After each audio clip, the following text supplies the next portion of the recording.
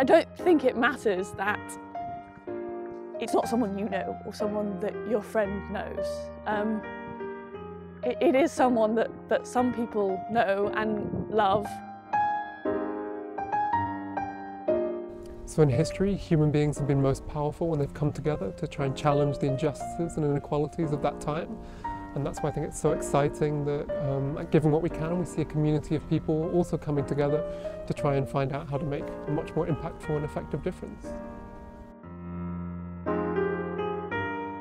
It became a lot more real for me that this is actually something that could have a massive impact because tons of students are really kind of passionate about it. Like most people, I feel self-conscious about talking about my giving, so I used to be private about the pledge of my donations.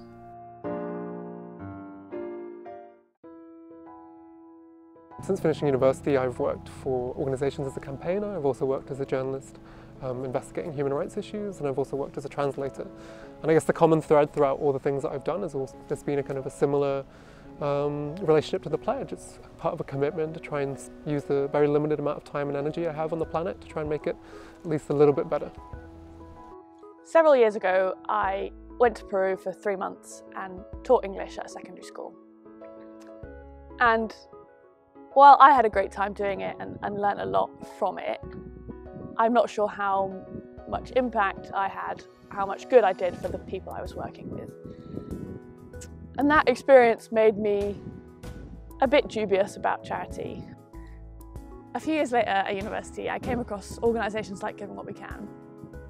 And those organisations have found that there are some charities which have an enormously positive impact on the poorest people in the world. And finding that out gave me confidence that, that giving could do a huge amount of good. Um, and, and that led me to take the pledge. I read an amazing story about Sir Nicholas Winton, uh, an English stockbroker who went to Czechoslovakia in 1939. Uh, he could see what was happening Jewish people in the ghettos. He desperately wanted to do as much as he could, so he arranged trains to transport Jewish children out of Czechoslovakia. He managed to transport over 900 children. He saved all those children's lives, and I hope in some small way that I'm emulating him through my donations. I mean, I'm a tremendously fortunate person. Uh, my entire life I've never lived through any hunger. I've never been displaced from my home. Um, I've never lived through any kind of suffering. I've always had access to healthcare and I've been blessed with the biggest privilege of all, which is the privilege of love. I was raised in an incredibly loving and incredibly caring family that always supported me. And as a kid, their teachings taught me that there were many other people in the world who didn't have what I had, simply because of the luck of being born in another country. Um, they did not enjoy the kind of enormous benefits and privileges I have. I chose to take the pledge at the beginning of my career. Um, I think there are lots of problems that are very immediate. The second reason I took the pledge at the beginning of my career was because I didn't think I would miss the money then. Um, I'd never previously had an income and there would always have been something else to spend the money on, like a, a nicer car for example. By being used to donating 10%, I think um, I'm much more likely to be able to keep it up for the rest of my life. Taking the pledge hasn't reduced my quality of life. I have a wife and twin boys, and we enjoy the simple pleasures we always used to. The fulfillment I feel from helping the world's poorest people far outweighs the sacrifice of some luxuries that we can easily do without. When I first signed the pledge, I was really excited, um, and it felt really great to be donating to effective causes. Um, now it's become, it feels like a much more normal part of my life. I find it much easier to give away at least 10%, knowing that good evidence exists that donations to the Against Malaria Foundation save lives for just over £2,000. I used to be an investment manager, and I think this is the best investment I've ever made. Since I took the pledge, a lot of people have asked me how you analyse how effective a charity is.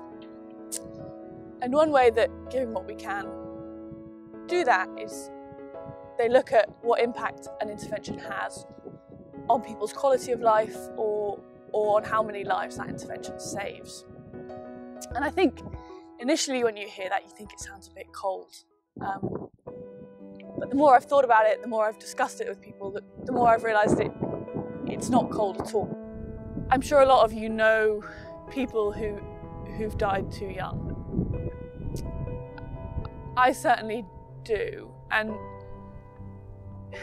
when I think about what I would have done if I could have to to prevent that from happening, you know, I think I'd have given up like, almost anything if it would have stopped that from happening. And that kind of brings home for me what saving a life is about, like how, what a big deal saving a life is. Um, and the realization that you can do that through effective giving, it, it is amazing. Um, and I don't think it matters that it's not someone you know or someone that your friend knows. Um, it, it is someone that, that some people know and love and will, will grieve for. Um, and, and that's what the pledge is all about, really.